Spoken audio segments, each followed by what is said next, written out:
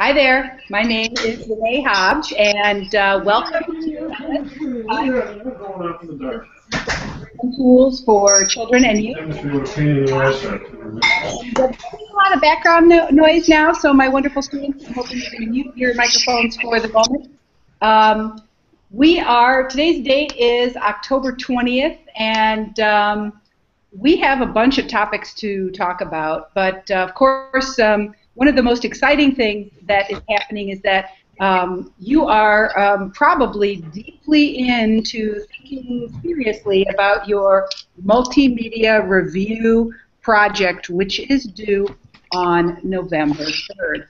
So before we go before we go through the agenda and talk about what we're going to try to accomplish in the next hour or so, I thought it would be useful to provide a little bit of an open forum to review the upcoming deadlines for this class and to have kind of uh, you, uh, Chelsea and Christine and Michael and Tammy and Valerie and Billy, I would like you guys to sort of stand in for the other six students who aren't participating live and ask great questions.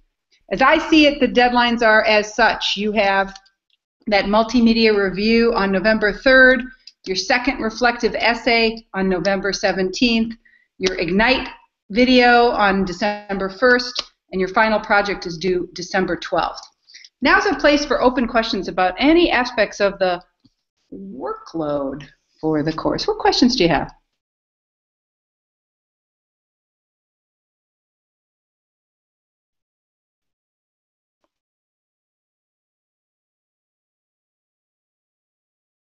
Okay. So wait, no I have a question. Oh, good. thank you, thank you, thank you. Um, okay, so it's um, the thing that's due on the third. You can. It's called like multimedia review, but if you you don't have to do a review if you're doing the story time, right? Very good. What a great question. Let's go to that page so we can understand it because you're right, the title might be just a tad bit misleading, right? And that we don't want that that title to get in the way. So right now I'm showing you the back end of what the WordPress site looks like, but let's go to the main page. Here we are at the main page, and up here under Work, Course Design, Readings, Videos, Assignments, it's called multimedia review, but you're right to notice that it can take endless number of forms. You are encouraged to think about producing option one, a promotional review, option two, a story time, option three, a critical review, and to develop your project, you're invited to go look at this website, which gives you some ideas about how to be, how to use the digital tools and technologies. Um, so um, there you go. That's uh, the the the flexibility that you have. Remember that it's due on November 3rd, and you need to embed the product on your blog and tweet the link with the LSC 530 hashtag. Thanks for asking that good question. What other questions do you have? um, when it comes to doing a story time, does it have to be in front of a bunch of kids, or can it just be a video? a very interesting question, right? Because one of the things that I will be looking for is that you are able to use the generic features of good story time, right? So that is a expectation. We uh, read about that in Virginia Walter. We've been sort of looking at different videos and uh, thinking more deeply about what are the characteristics of, of a story time. You know, having a real audience would certainly increase the authenticity of the performance because after all, story time is a performance, right? So real kids would be great, but you know, digital media, um, sometimes an imaginary audience can kind of work for you. And I think there are creative possibilities there for you to consider and exploit. I have seen examples of children's media where there is no, where the audience is implied. And with the right creative strategies, I think uh, you might be able to pull that off. So I invite you to be creative in thinking about how to do a story time through digital media. I don't know if I answered your question or not. Yes, for the most part. Um, I just wasn't sure if I was if I wasn't sure if I was if I wasn't able to get an audience audience if it was okay if I didn't have one. okay if I didn't have one. Right. Yeah, my sense of it is that if you don't have an audience, you'll find a creative strategy uh, to think about your essentially your your digital viewers as your audience, right? The folks who are watching this multimedia performance become your audience. They are they're not a live audience, but they're they're present, right? So think a little bit about that, and that'll probably help you figure out a creative solution there. Thanks for asking that great question. What other questions do you have?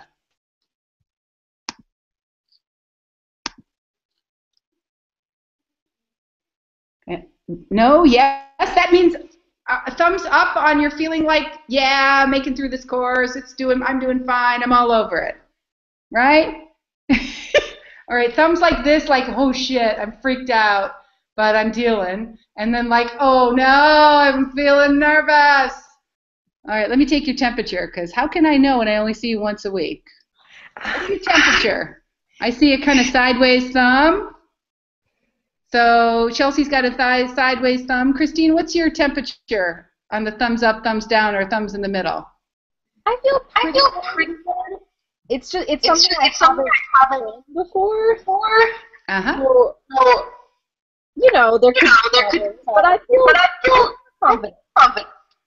Okay, good. One thing I would invite you to do is not wait till the last minute because I'm I'm a former journalist. I'm a really bad person when it comes to deadlines. I do not I'm not very charitable about that. So and this you've had a long lead time. So don't wait till the last minute because if something's going to go wrong, you can't say my dog ate my homework. It's not going to work with me. Okay. So uh, all right, let's take a look at what's on tap for tonight. And uh, I think we should have some fun. I hope we have some fun. Um, so we're really digging a little bit more deeply into the future of libraries, and we are kind of setting up uh, Virginia Walter and the YALSA report, really, I guess, uh, if, uh, if we're going to think about it. One thing I have to do is I have to talk to you about what a fantastic job you did in your Flipgrid responses. And I want to um, I want to go to those responses now to showcase some really excellent ones. Um, as you know, I'm really deeply interested in creating outward-facing librarians. That's a really big topic of great importance to me. And one of the things that I observed as I listened to you talk about how some ideas from the world of the children's museum world might be relevant to uh, school and public librarians I was really, really impressed at the high levels of thoughtfulness and quality. Uniformly, every single one of you was super, super amazing. So I'm just going to showcase three that I thought were particularly amazing. Starting Hi, with everybody. Bill. It's Billy. Um, my favorite part of this video was that it all seemed like so much fun, uh, which isn't always what you expect when the outcome is supposed to be learning. Uh, children's museums serve the purpose of an educational playground more so than libraries do. Uh, but I think that they, what they have in common is that they take learning out of the context of books in the classroom and open it up to entertaining ways to explore your own interests. Um, I also like that they take this a step further by promoting the idea that even in-class learning can be fun. Uh, they have their museum in a box, their artist in residence programs, uh, teacher training.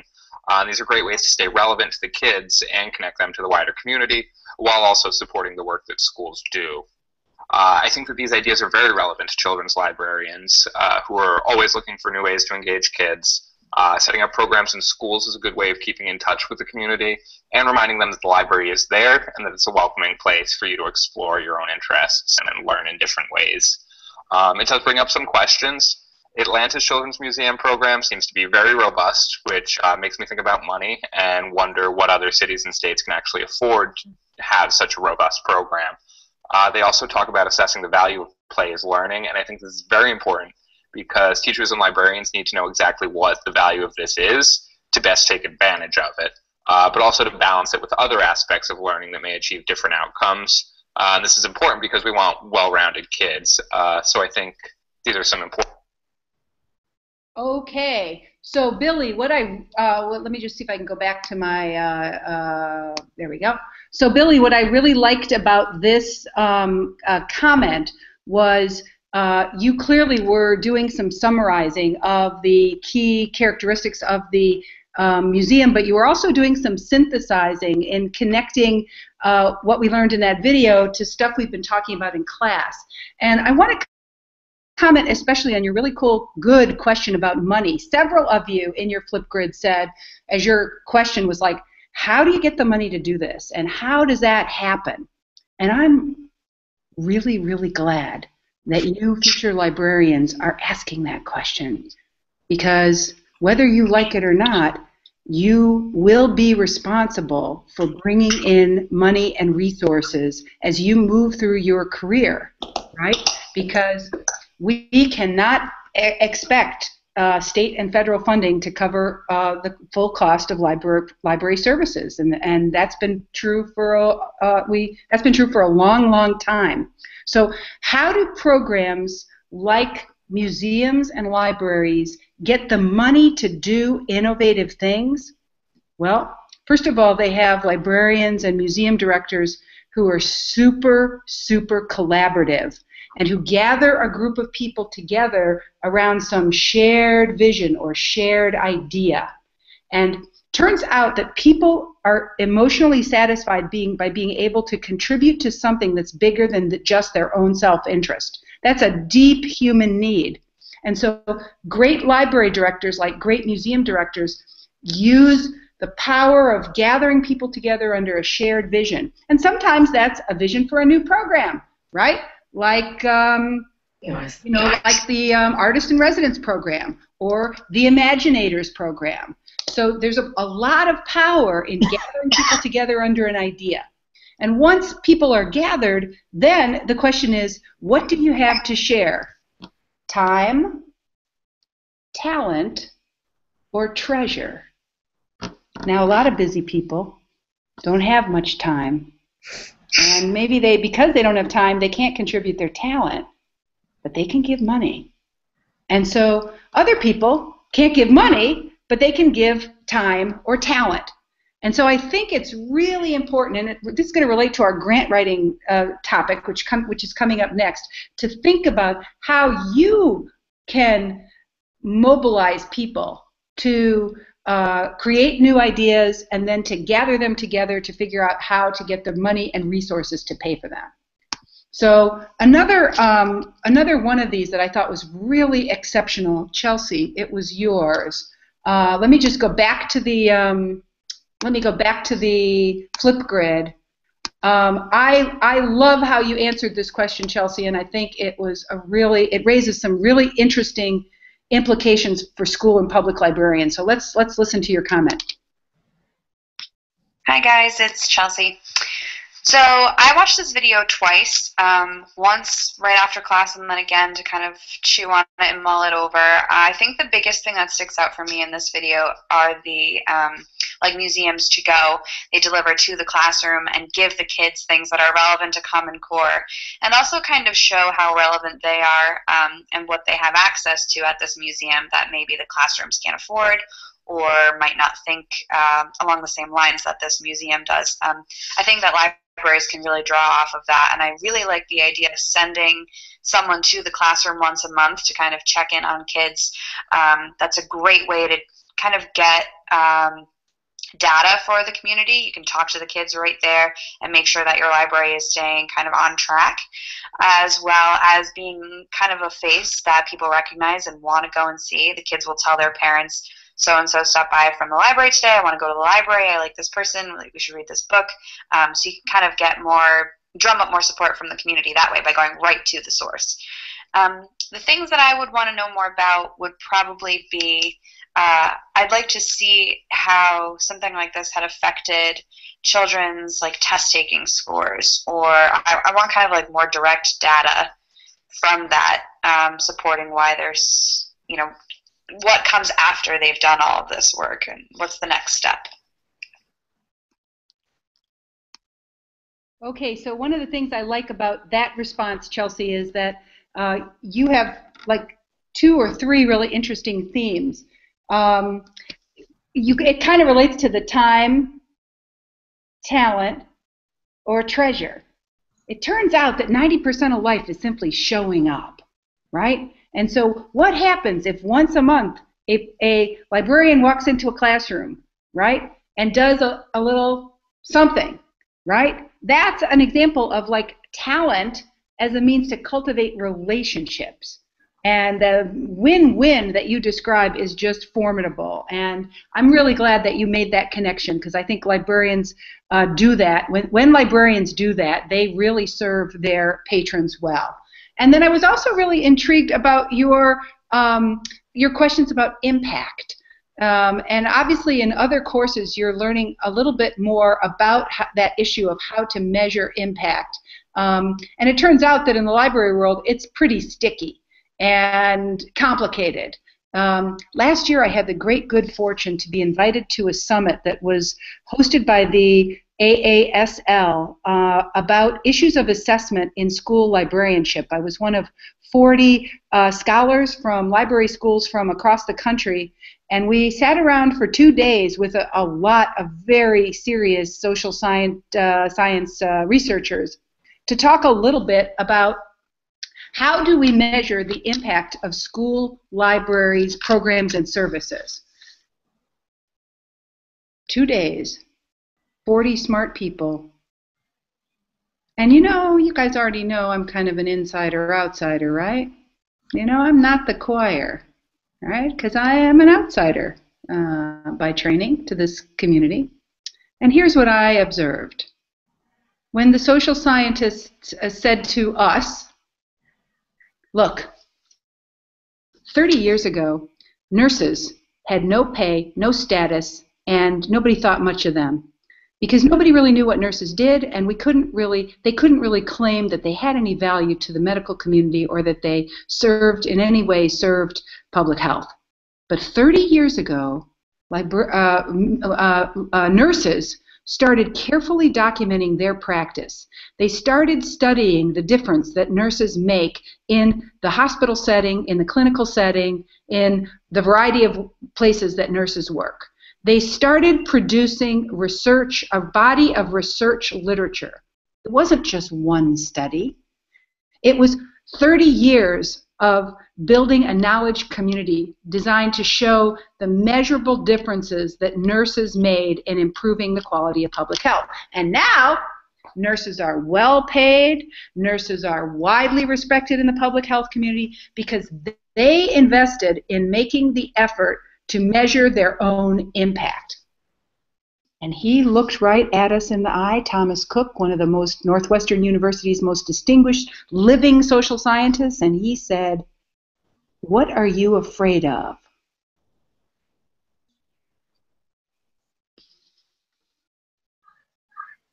And there was silence in the room because the school library researchers had a whole lot of reasons why they couldn't measure the impact of school library. There's a million trillion reasons why. Why? Because library service is not just one thing. It's not like giving a shot, right? Because sometimes librarians are teachers where they're teaching class after class after class, and other times libra- school librarians get to support teachers and don't have to do so much direct instruction. So library programs vary so widely. Librarian uh, researchers said, how could we possibly measure the impact of library programs when, you know, this one, the one in Narragansett is, is different from the one in Westerly, is different than the one in Providence. We can't possibly measure it. And they came up with a whole lot of reasons why it was simply impossible to measure the impact of school library services. I, fortunately, as a born optimist, uh, think that there's a lot of ways to measure the impact of school library services and maybe it will just take a creative next generation, right, to be up for the challenge. Unfortunately, you know what they say about how fear discourages innovation? If you're running scared, if you're running for your lives, if you don't really imagine a future for school libraries, you can't possibly be creative about figuring out how to measure the impact. So we got to get over that fear in order to figure out how to get to innovation. Now, what questions have, has the issue of measurement, the measurement of the impact of school libraries, what issues have raised in your experience as graduate students and as librarians uh, that are worth reflecting on? How do you understand the challenges associating, associated with measuring impact? Like in terms of the whole school itself, is the library pretty much meeting like the needs of the user community as an institution? Is it a significant symbol of what we're doing, or is it just like passively providing materials? Really important question, Michael. And that's a complicated question to answer, isn't it? Because if librarians see themselves as promoters, then the hard reality might be difficult to actually document. Thanks for sharing that great point. Other issues that are raised for you as you think about the issue of assessing the quality of children's uh, librarianship in either school or public library settings. I, I, I have started. I don't even. I don't even think. You know what? Uh, because I can't. Because I can't. Oh, Tammy, it's killing me. I know you want to talk. Are you have laryngitis? I have. I have Oh. Hey, listen. Anybody who has Ebola in this class, like, come on now, please. Just be glad we're not having a face-to-face class. Sammy cannot infect us. That's right. And even if she had Ebola, she still couldn't infect us. Uh, uh, I have so much, so much. Just think. Okay, my friend, I'm going to bring this topic up again. Thank you. When I read Virginia Walters, I, I, you know, I got on my little tirade there because I had that very uncomfortable experience of being in that room in Chicago with all those school librarians and re- good researchers, really good researchers, very, very the top of the field, right? So I struggle with this enormously, and I feel like it really is going to be something that you new, this new generation is going to have to figure out. So um, it's an exciting opportunity. It's also, I'm sure, pretty daunting, um, but I think uh, uh, it isn't. There, it is a real opportunity to build a career. So the fact that many of you asked about impact, uh, Tammy, you asked about having a lasting impact. Um, uh, um, Jen, Jen, Jennifer, you asked about how do we measure the that how librarians make connections to schools and parents. Uh, Valerie, you mentioned the issue of how to implement. Um, overall, I was so blown away by the quality of the ideas that you generated and the thoughtfulness and the good way you articulated your ideas in the Flipgrid. I, I sense a really um, a very talented crew here. So I just, I guess, we will move on, right? But um, I was super pleased with how you handled the Flipgrid. Okay, so let me go back to the, um, let me go back to the, uh, let me go back to the, to the screen share for a minute because I, I got lots of things to do and I, I I'm, I'm raising that issue of assessment for you to think more about, uh, especially in relation to what we learned about in the uh, call to action that YALSA gave us. And um, let me see if I can go back here. And in uh, Virginia Walters' own take on, on that issue. Why am I not letting, why is it not letting me go back? Uh, all right, I guess I'm going to have to, there we go. Okay, so let's take a look And uh, ladies and gentlemen, if you can move yourself with opening another window to Padlet wall number one, let's talk through some of the ideas that you posted on the Padlet wall about the six big ideas, the core principles of children's library service. So um, really pleased to see some of your great thinking about uh, uh, on this. And right now, as we're looking at this chart, if you have made a point on here, I'd like you to just um, pipe up and talk us through it. Who'd like to go first? Okay. Um, um, mine says, mine says that you librarians, librarians to collecting collecting trout. Most would to, to catering more to popular taste. And I find myself falling into that. Um, taking, I do a lot of research before I get my books, but I do take a lot of um, surveys in my class, and I tend to buy a lot of things that are popular right now for the kids. Um, I hope they're not trash, but um, they seem to like them, and I seem, in a lot of cases, to be following that route of picking popular um, information. So I don't know if that's a pro or a con.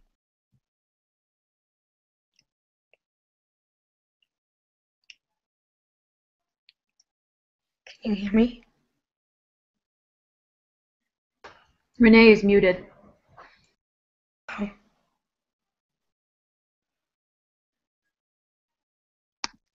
oh, thank you, thank you, thank you for telling me I was muted. I don't know how I got. I don't know how I muted, but thank you for letting me know. Can you hear me now?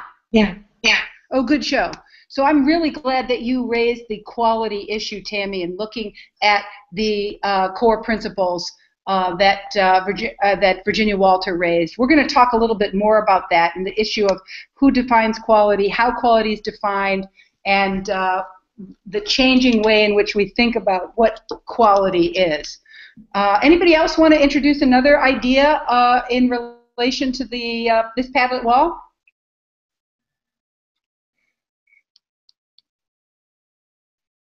Jennifer, I thought you were brilliant on this one down here at the bottom. Can you guys see that down at the bottom? Of course, what children want is often the result of massive marketing campaigns by adults with commercial interests at stake, right? So, how are children's tastes shaped by the economic engine of the publishing industry, of the media industry? That's a really important thing for not just librarians to understand, but also families and children as well. Really glad to see that you introduced that idea. Uh, let me just let me just open this up a little bit more broadly so I can see are there any other really great ideas here. Um,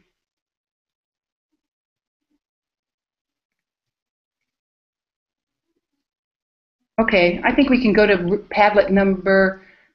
Uh, well, I guess I'm going to respond to Jessica's point here. You know, this is Virginia. This is Virginia Walters. Uh, you know, big idea. Basically, any type of positive interaction children have with books is going to promote reading. Any type of positive interaction children have with books is going to promote reading. I might quibble with that. I wonder under what conditions do positive interactions that children have with books promote reading? Is it any any context in any situation?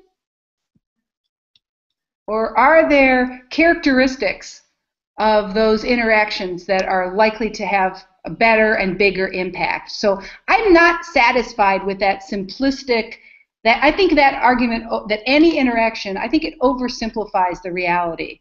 And I want to know as a researcher what it, uh, in what context and in what characteristics of the interactions are likely to produce that uh, reading strategy. Um, because I don't think it's just any old interaction that works. And I think uh, that to, to make that argument is um, oversimplifies a, a very complex reality. Um, so let's let's uh, clip along to Padlet wall number two, right? I really was grateful for the way you guys engaged with uh, thinking about some of the ideas in this book.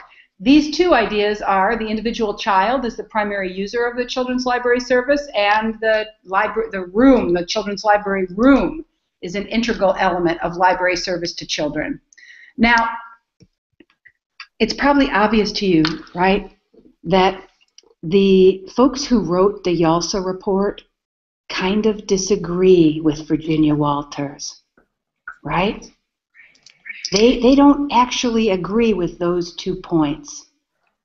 So let's take a look at what you said in analyzing the pros and the cons to these claims that the focus needs to be on the child and the focus needs to be on the children's room, right? So Amy, you did a great job, right? So uh, uh, you started by uh, giving us this, uh, you know, nice insight here, right? Which is over time, the children's room was seen as a place that um, has to support, uh, you know, uh, basically every service, right? Because of budget cuts. So indeed, the idea that the place has migrated, right, in, in into its um, its functions have changed over time, right? And uh, Tammy, I thought your uh, insight here about uh, are children the primary user of the library service, or really are parents the target audience, right? And so several of you recognize that parents are hugely important in uh, as a target audience for uh, children's library services. And Amy, I appreciated that you recognize that librarians aren't always happy of these kids who are dropped off at the library and left there for all hours, right? So um, librarians often are not happy with the, those kids who are, uh, like you say, an undesirable group. Um, and I think that reflects a, a belief that I have uh, heard many uh, librarians uh, share. It's a complicated and difficult issue. So, Christine, you uh, echoed it here in your um, your observation down here. So, uh, when we think a little bit about the child as the as the primary user, so I was really thrilled um, to see your your good observations about recognizing that these uh, truisms that Virginia Walters states actually are she deeply problematizes them. She does it herself in the book, and you recognize that by finding the um, dimensions of those of those arguments. Okay, so let's go back to um, let's go back to the third one, and then we'll open it up for comments and questions, and you guys can point out to me points that were important to you. But I, am sharing with you some of the insights you shared on the Padlet wall that I thought was great. The final two core uh, practices of library service that Virginia Walters helped us understand are that children's librarians are the appropriate specialists uh, who can deliver library service to children, and that children librarians need to be advocates, right? And um, lots and lots of uh, commentary around how hard it is to be an advocate, right? Uh huh. And um, and I think that is uh, I think that is I think that is really really important. Um, and uh, Tammy, I think especially your point here about how when administrative leaders don't understand the uh, value or the function of, of uh, what librarians do, uh, then basically uh, librarians aren't going to be very good advocates and they aren't going to be able to provide the needed services. And I think that is a big reality that we face right now in the context of school librarians. Um, so, um, Christine, I'm really, really pleased that you recognize that sometimes librarians don't get any formal exposure to ideas about child development. So uh, for instance, you say they might not know what content will benefit a certain child or even what benefits are possible. I think that is a um, an important challenge we face to rethinking the training of librarians, and I wish I had the answer to how to do that. I'm trying to figure that out. Um, um, and and Jordana, I think it's really really appropriate for you to recognize that it probably feels overwhelming right? It often seems like too much to expect any one person to do, and role strain and burnout. Who was the amazing person who shared the great tweet on burnout? Me. Me. Yay! Thank you. that was awesome. And I think that is a real, real issue. Now, how about if you guys talk me through the questions that the new core values that you thought might be needed for the future of children's library service. If you have something up on this Padlet wall, will you talk us through it? Who wants to go first?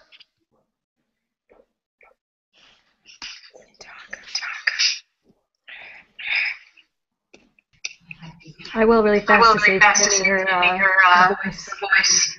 Thank you. Um, I wrote, uh, I wrote uh, Oh god, this is this is. I'm gonna move you really fast, Renee, so I'm not echoing. echoing. Hmm. Okay. Okay, much better. So I wrote that communities expect the library to keep up with each new piece of technology that is out there to earn and play with.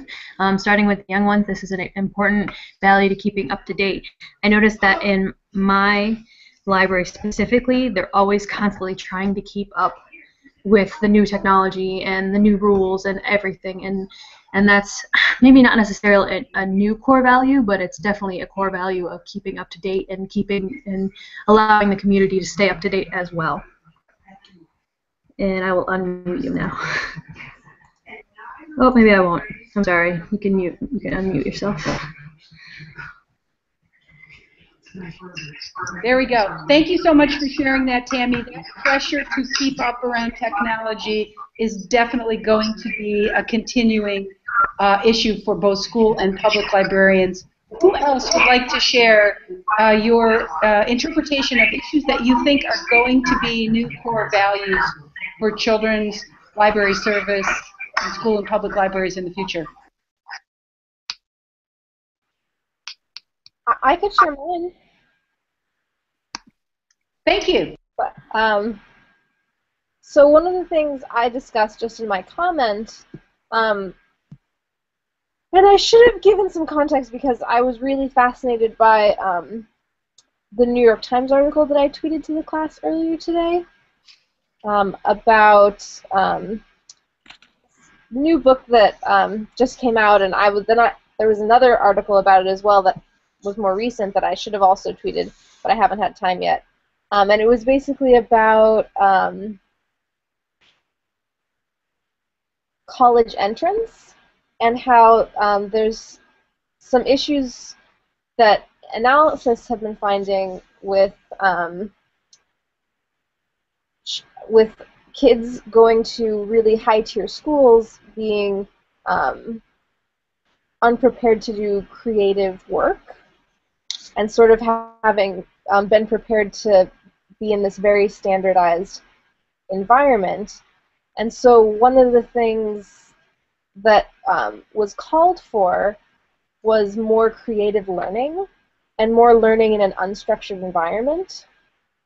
And I was um, just in my comment, I was sort of saying that that might be something, as, especially now that schools are going towards the Common Core and so many schools are looking at standardization, that libraries have an important role in terms of giving kids a way to learn that is not structured, where they can focus on just what interests them and um, have some opportunities to be um, intrigued in different ways.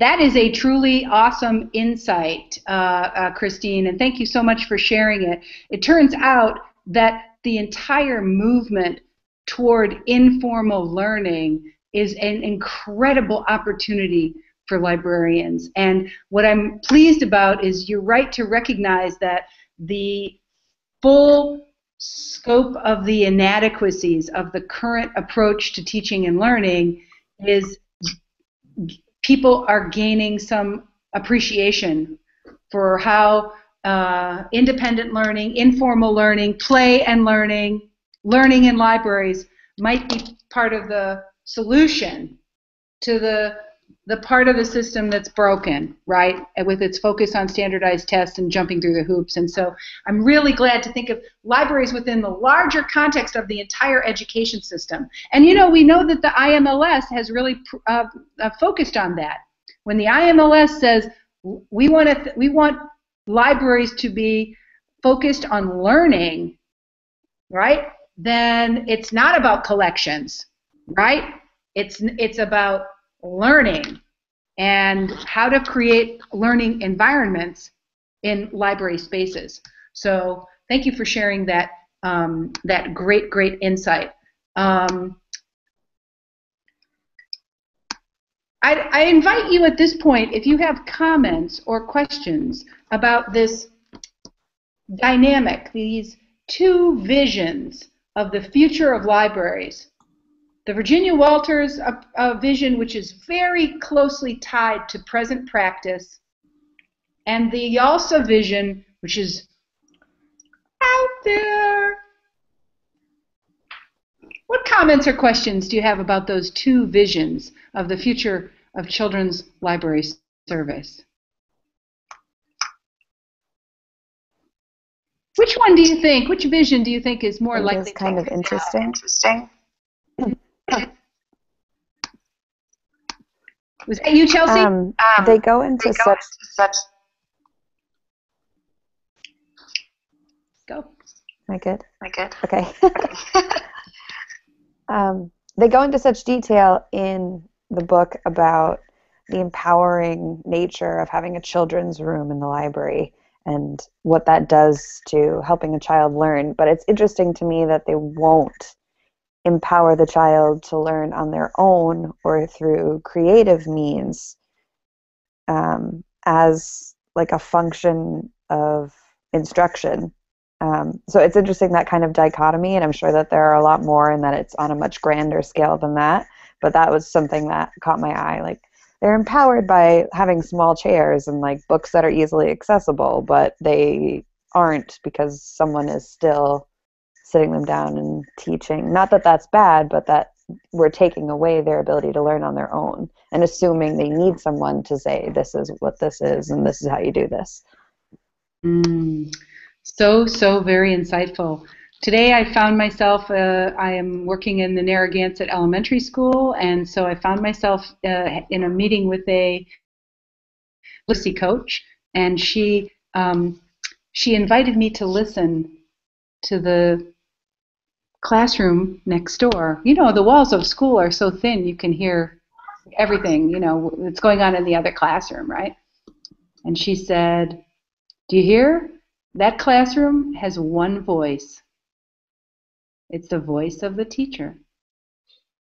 And those children will hear that voice for six hours, and there's really no room for their voices. And that vision of teaching and learning has been place for a long, long time, right? Grown-ups do the work. We design the programs. We read the stories out loud. We it's a very grown-up centered approach. What what happens if we cede control and put kids in the center of the learning?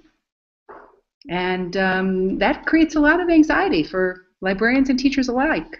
But it can also yield a lot of rewards. Chelsea, thanks very much for sharing that idea. Who else wants to comment on this? Two different visions. I, pre I presented you with one is a more is a is a future that's closely tied to present practice, and one is a vision of the future that's crazy out there. What are your thoughts about? What are your predictions and anticipations of which of those two versions of the future is likely to come to pass?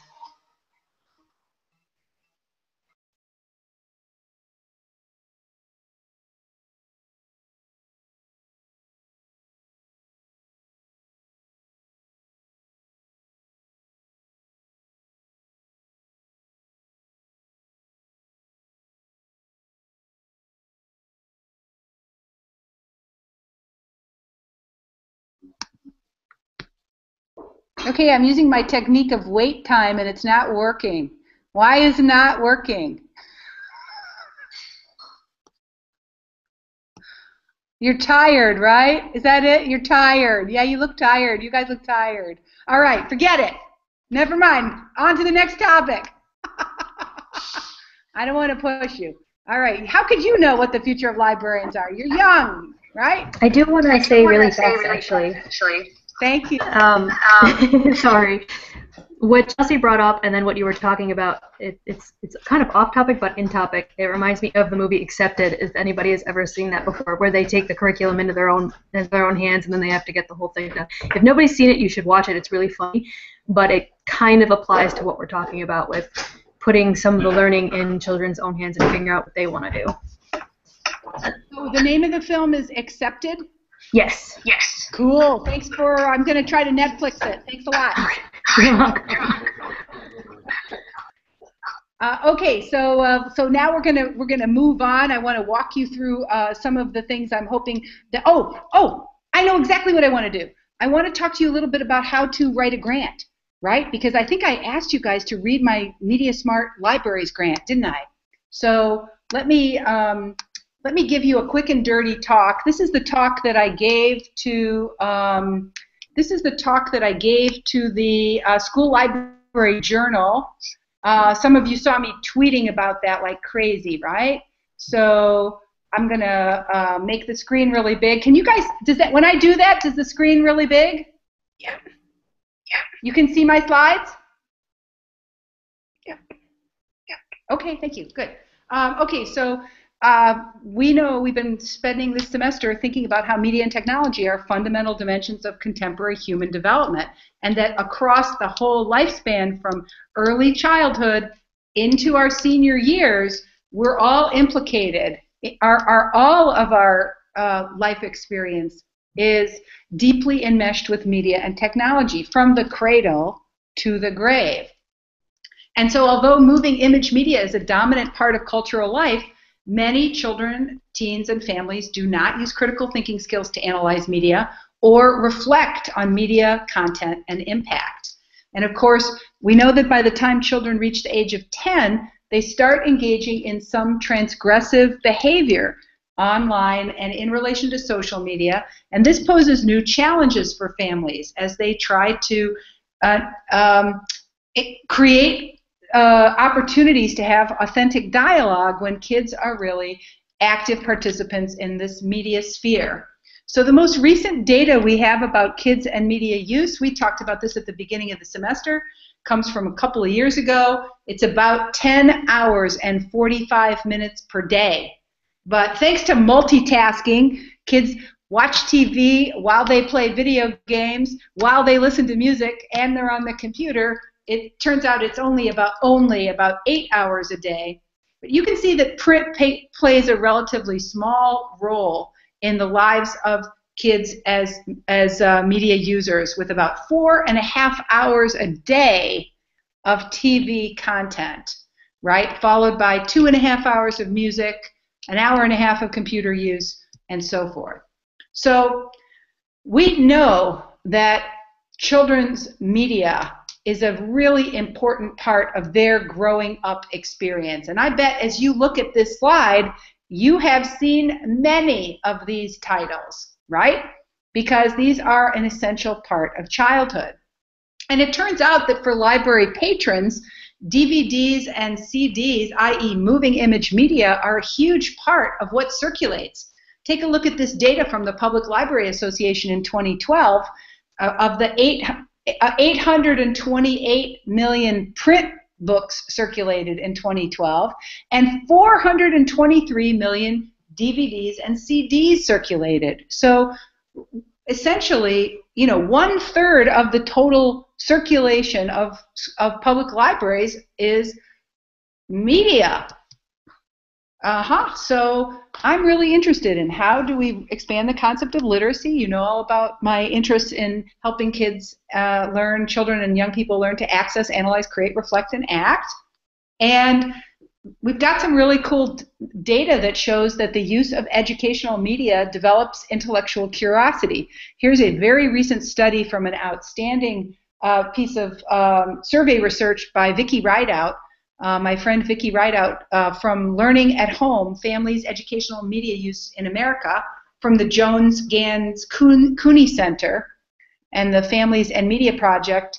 Uh, among parents of 2 to 10 year olds who use educational media weekly, um, parents say if they if they use educational media, they talk about it, they engage in imaginative play about it, they ask questions about it, they ask to do a project or activity about it, they teach their parents something.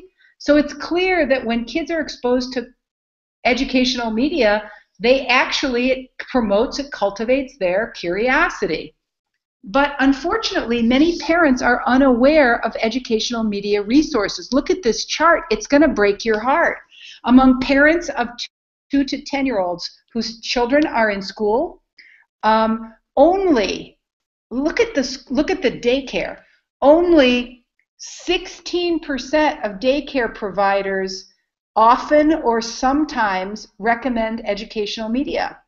Only 26% of preschool teachers recommend educational media. And even when kids are school age, only half, only 15% of, of teachers do it often, do it sometimes. So clearly, parents may not be aware of educational media resources and how they can promote children's intellectual curiosity. In fact, this research showed that many parents do not promote the use of educational media at home. It turns out that parents fall into two kinds of categories. There's a group of par- parents that are protectionist. They simply don't want their kid using any screen media, whether it's educational or not, right? And then there's another group of parents, a smaller group but still important group of about 20%, who simply are not aware that uh, there is educational media that can cultivate a children's language development, their intellectual curiosity, and their learning. So that tension between the protectionist emphasis to keep media away from kids and the empowerment uh, angle to uh, enable kids to make to benefit from that robust informal learning that we talked about means that we have to actually incorporate both of those perspectives. So here's what we did last year thanks to a small gr- planning grant from the IMLS. We did a survey of 46 school librarians and 46 public librarians from across the state of Rhode Island. And we discovered that librarians currently do not generally use film and digital media to advance digital and media literacy competencies. Two thirds of school and public librarians report never using independent children's films and many librarians are unfamiliar with procuring and evaluating the quality of film, videos, games, and apps. About 70% of school librarians and 63% of children and young adult librarians said they would like to figure out how to integrate more film and media into their work. We also learned that school and public librarians in Rhode Island want to learn more about digital photography, they want to learn more about animation, they want to learn more about social media. They want to learn more about filmmaking, creating a website, learning to blog, learning to make YouTube videos. And of course, why wouldn't they as we see the importance of learning to be not just a consumer, but a creator of messages? So librarians are hungry, three quarters of librarians are hungry to learn these skills. That's why we were so excited about the opportunity to form a partnership between the University of Rhode Island's Graduate School of Library and Information Studies, and the Providence Children's Film Festival. On the website, I've put a link to that website, and I hope you take a look at it, and I hope you look at some of the amazing uh, short films that uh, are available on this website. For the past five years, every February, the Providence Children's Film Festival has put on a 10 day festival over two weekends where children and their families from across the region can come to see high quality children's media from around the world. And so what we've done is formed a partnership with the University of Rhode Island, uh, Harrington School, and the Providence Children's Film Festival, and the Office of Library and Information Services for the state of Rhode Island. We've proposed a crazy idea a series of public programming events, a series of continuing education workshops, a revised uh, LIS curriculum, including this course, right, and an online resource hub.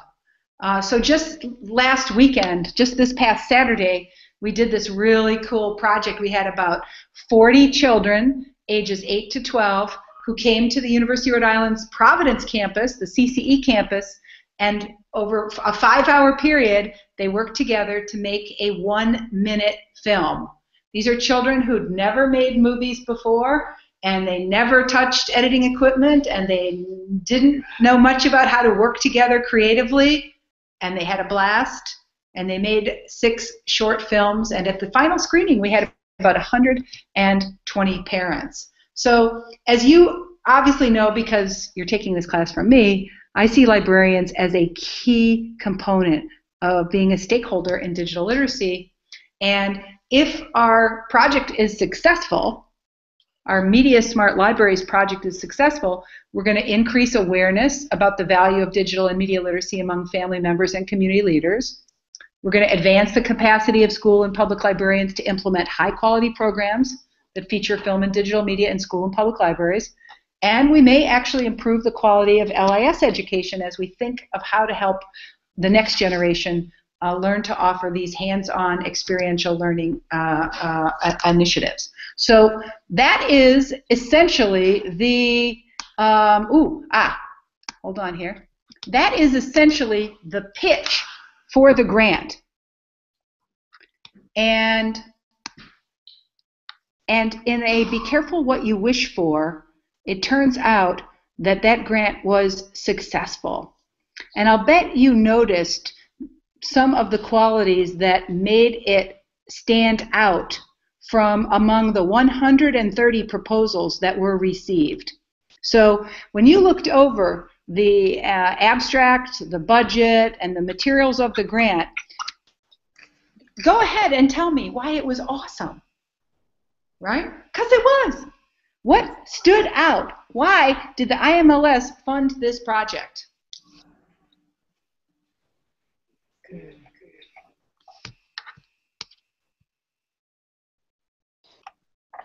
I think it's because you made it imperative.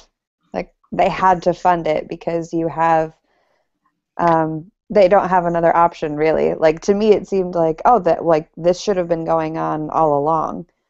So now we have statistical data to back it up and like here's what's happening here's what we're going to do to fix it like of course we're going to give money to you because you have a plan ready to go Chelsea, that is a great piece of wisdom. You're going to be a great grant writer. One, when I was a very young person, a grant writer said to me, Renee, if you want money for a project, you have to have a big problem. A big problem requires a big solution. So you explain what the problem is, and then you have to solve that problem. If it's a big enough problem, it you have to fund it. So that is a key observation about one characteristic of this proposal. What else do you notice makes made it stand out from all the other library programs that were not funded?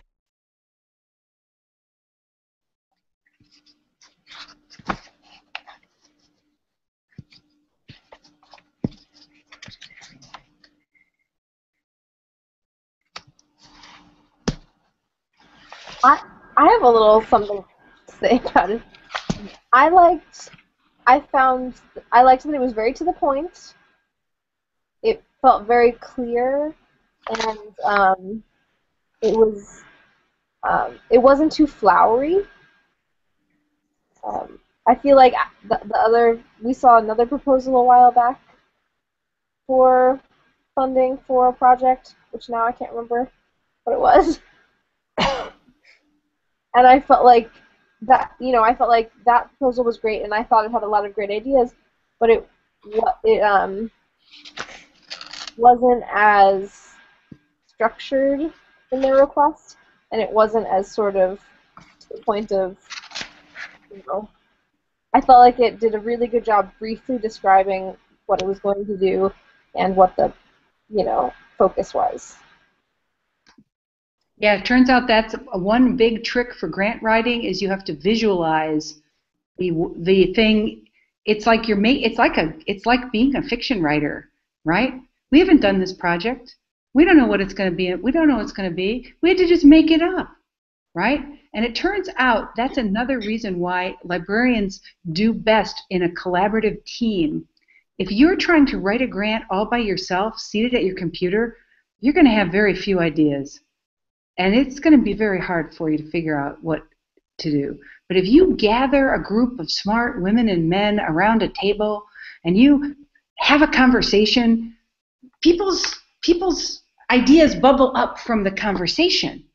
And that's how this grant got created, right? It wasn't me, it was 12 librarians sitting around in my living room, right?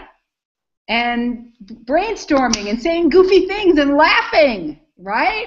And some of those ideas were like, oh, that's a good idea, right? And so I, I think the idea that uh, grant writing is actually really deeply a creative project. It's a creative process. Um, and that really speaks to what we saw with the Atlanta Children's Museum, too, doesn't it? Right? The energy and the initiative that made that children's life, that children's museum so awesome was somebody back of the house writing grants for projects like an artist in residence, a bus, a discovery kit, a reach out to parents and imaginators. Somebody had to imagine those ideas, write them down on a piece of paper, and say to a funder, give us money to do this, and then we'll figure out how to sustain it. And it's, it's a blast, you guys. You're going to have a terrific time with it. It's so much fun. So what questions do you have about grant writing? This is Grant Writing 101. Tammy. Um, I have, have I have written, I've written three grants. Three grants. And I, I, I, I do have to do have to like final research, final research. And um, but it was, it was unbelievable. Um, when I got the okay that everything was great and I was going to get the funding for it. Um, it's a lot, a lot of work, but it can be a great process when you work with a lot of great people. Thank you for sharing that. It is true. It is a very addictive, isn't it? Once you start doing it, you want to do it more, right? Now, one thing that's interesting and that you might think about for your final project for this course, some of you have written to me about wanting to do projects. Perhaps your final paper will be in the form of a grant proposal. Hmm. Why might that be a good idea? Right?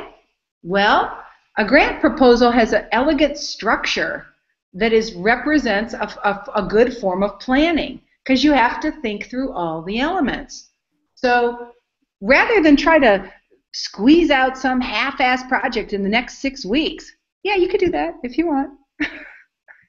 but you could also write a really great plan for a project, right? If you can dream it, you can do it, right? And so if you can figure out a project that has something, some connection to the stuff we've been learning about, you know, one possibility is, you know, write a grant proposal and follow the guidelines of the IMLS structure, just like the model, and experiment with uh, thinking through that creative process, which is why if you want to work in teams, it's a good idea. All right. Enough about that. Now you've now you've had a kind of a little overview of the grant writing process. It's eight o'clock, so I got to get the show on the road here. So I'm gonna um, try to talk a little bit about what I'm hoping you're going to do next week. So as you can see, if you move down the uh, the uh, uh, web page for today, right below that slide deck is um, the activities I'd like you to complete for next week. First, I'd like you to watch this 15-minute video about Ed Emberley, who is a children's artist. I want you to watch the video and then I want you to share some key ideas from the video and make connections between Emberley's story and what we've been learning in class so far about texts and tools for children and youth. Share your reactions on the Titan Pad and make an effort to engage with your peers and their reactions and interpretations. So let's create a little dialogic space on the Titan Pad for talking about this video and its and synthesizing connections to the to the um, to the readings and the other activities we've done in class. Next, here's the reading for this for next week, October 27th.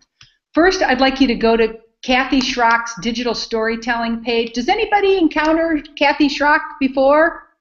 Yes, Tammy, I know you did. But no, the rest of them you are new. You guys are gonna. She's pretty amazing. I met her when she was very young, and we worked in Cape Cod together. What I'd like you to do is go to this website, Digital Storytelling, select at least six to ten pages to read, explore, and play. As an outward facing librarian, take responsibility to share what you discover and comment on its potential uses and value. After exploring, use Twitter to comment on and share at least two resources. Don't forget to use appropriate hashtags, including LSC 530, to reach people who might find the resources you're sharing to be valuable. One little notice uh, that I'm taking you now to a different website. This website's called Seen, and it allows me to track our hashtag over time, right? So I've learned when I type to, I go to Seen, I type in LSC 530, that we post about three and a half posts a day, and uh, some of our posts have been getting some real traction. Aaron, for God's sakes, you are a tweeter extraordinaire. Check out Aaron Darby O'Neill's great quote Librarians don't need to know everything, we just need to be the ones who know how to help people. She tags it YALSA, she tags it with our class. It gets 15 retweets. It gets, here's another one by Aaron.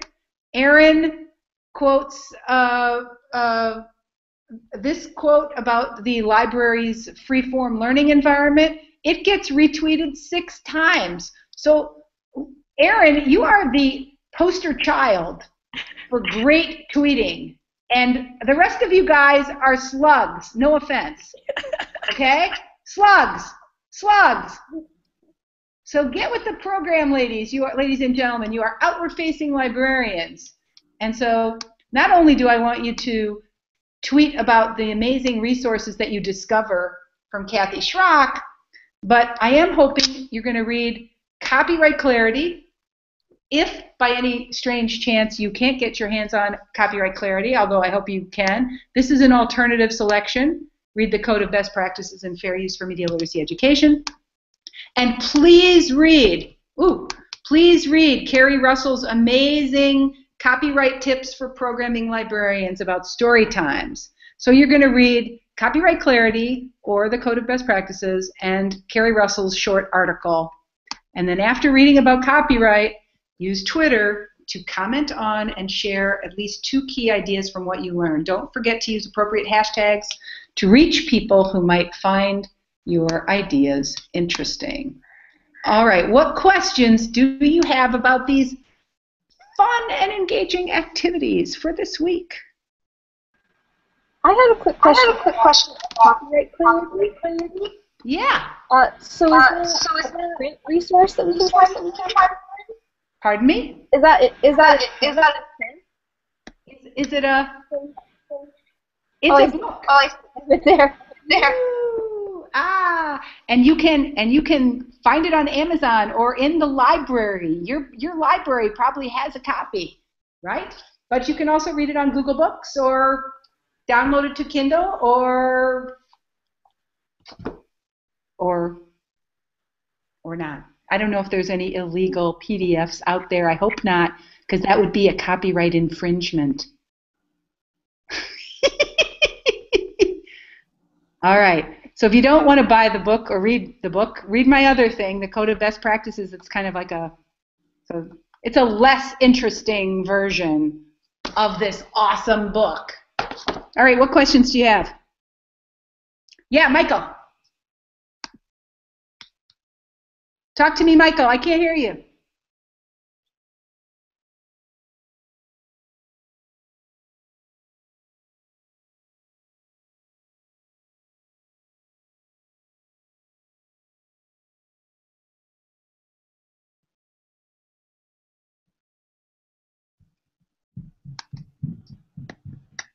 Michael, why can't I hear you?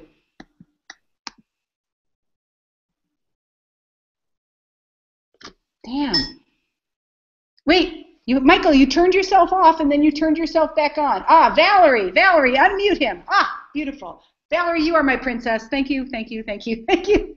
Okay, Michael, what's your question? Ah, I wonder if his speaker's actually turned on. maybe. Yeah, nope, sorry, Michael, we can't hear you. Keep talking. We're going to try to figure it out. Who else has a question about uh, uh, the work that you're going to be doing this week? Michael, uh, here's the uh, send me send me an email, and I will answer your question right after this class. Or or type it over here. Do you guys see this little chat room? Chat room. Type your question here. Do you guys see that over in the chat room? You open up the little blue. If you uh, you move your cursor over to the left nav bar, a blue a little chat area there. Maybe you try that. What other questions do you have? You guys, you know why I'm having you guys um, read about copyright now?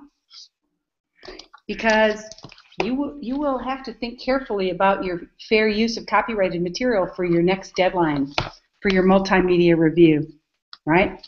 So think think through how you use copyright materials in your creative multimedia review and be lawful.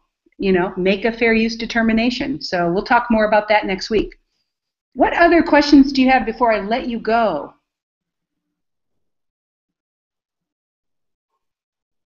Okay, you're smiling. It's not the end of the world. So, uh, Chelsea, Christine, Michael, Tammy, Valerie, and Billy, I don't know where you went. I, but Billy's like there, but not there, right? Thank you for joining me for uh, uh, another installment of LSC 530 uh, Texts and Tools for Media and Youth. My name is Renee Hobbs. Uh, I have to admit, the University of Rhode Island Graduate School of Library and Information Studies students are the best library students on the planet, and I'm saying that live in front of my YouTube audience because you guys are awesome.